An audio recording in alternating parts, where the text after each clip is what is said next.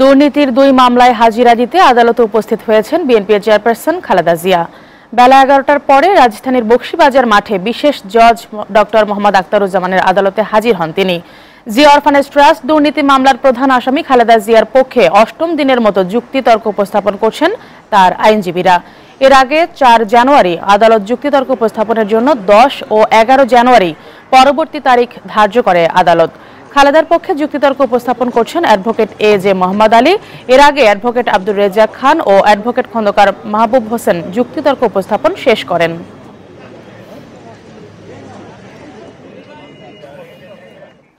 দর্শক, এই মুহূর্তে বক্সিবাজার আলিয়া মাদ্রাসা মাঠে স্থাপিত বিশেষ জজ আদালতে আছেন সহকর্মী মঞ্জুর মিলন। সরাসরি যাচ্ছে সেখানে।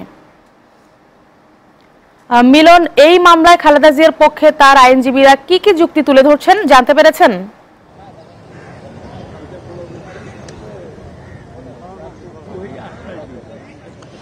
ধন্যবাদ রূপা, খালেদা জিয়া বিএনপি চেয়ারপারসন বেগম খালেদা জিয়া। অন্যান্য দিন আদালতে যে সময় উপস্থিত হন, তার কিছুটা পরে আজকে উপস্থিত হয়েছিলেন। তো উপস্থিত হওয়ার পরে আদালত তাকে একটু জোর গলায় বলেছিলেন যে বিএনপি চেয়ারপারসন কেন দেরি করে আদালতে এসেছেন এবং আজকের মধ্যেই যুক্তিতর্ক শেষ করার নির্দেশ দিয়েছেন আদালত। যখন আদালতের এই বক্তব্য ঠিক তার পরপরই বিএনপি পন্থী বিএনপি অর্থাৎ খালেদা জিয়ার আইনজীবীদের মধ্যে একটি উত্তেজনা তৈরি হয় এবং তারা বারবার আদালতকে বোঝানোর চেষ্টা করেছেন যে খালেদা জিয়া তিন তিনবারের প্রধানমন্ত্রী তিনি কোনো সাধারণ মানুষ নন। সুতরাং তাকে উচ্চ আদালতে তিনি যখন যান বিচার চাওয়ার জন্য তখনও এরকম ব্যবহার করা হয় না। এই বিষয়টি আদালতে তারা তুলে ধরেছেন। এর পরপরই তারা যুক্তিতর্ক উপস্থাপন শুরু হয় এবং তারা একটি বিষয় আদালতে অভিযোগ দায়ের করেছেন দশ জন আহ, আহ, এই নথি মামলার যে নথিপত্র, তার সাথে সংশ্লিষ্ট দশ জনের বিরুদ্ধে। আমাদের সাথে রয়েছেন খালেদা জিয়ার আইনজীবী প্যানেলের একজন ব্যারিস্টার বদরুদ্দোজা বাদল। তার কাছে আমরা জানতে চাইব, আসলে এই যে অভিযোগ দাখিল করেছেন আপনারা, এটা কেন? কিসের জন্য আপনারা এই অভিযোগটি করেছেন? আপনারা জানেন, আমরা মামলার শুরু থেকেই বলে আসছি যে এই মামলায় নথি সৃজন থেকে শুরু করে অধিকাংশ ডকুমেন্টই সৃজন করা হয়েছে, যেগুলোতে ঘষা মাজা কাটাকাটি সবই আছে।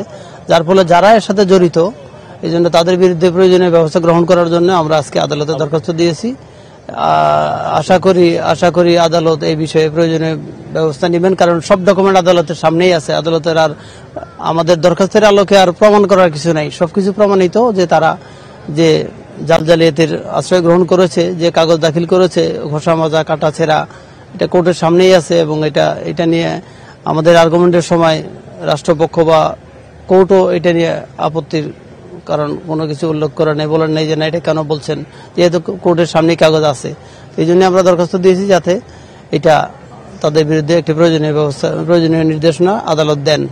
আপনাদেরকে আজকেই যুক্তিতর্ক উপস্থাপনের জন্য শেষ দিন ধার্য করেছেন। আপনারা কি পারবেন না এটা শেষ দিন বললেও তো হবে না কারণ আইনে কোথাও এরকম উল্লেখ নাই যে এই কয়েকদিনের মধ্যে যুক্তিতর্ক শেষ করতে হবে। ক্রিমিনাল অ্যামেন্ডমেন্ট বলেন সিআরপিসি বলেন এভিডেন্স অ্যাক্ট বলেন এখানে কোথাও স্পেসিফিক ভাবে বলা নাই যে আর্গুমেন্ট ডিফেন্স পক্ষের ডিফেন্স সাইডের আর্গুমেন্ট বা প্রসিকিউশনের আর্গুমেন্ট এই কয় দিন এই কয় ঘণ্টা এই কয় এই কয় বেলা পর্যন্ত শেষ করতে হবে এই ধরনের কোথাও কোনো বিধিবিধান নাই।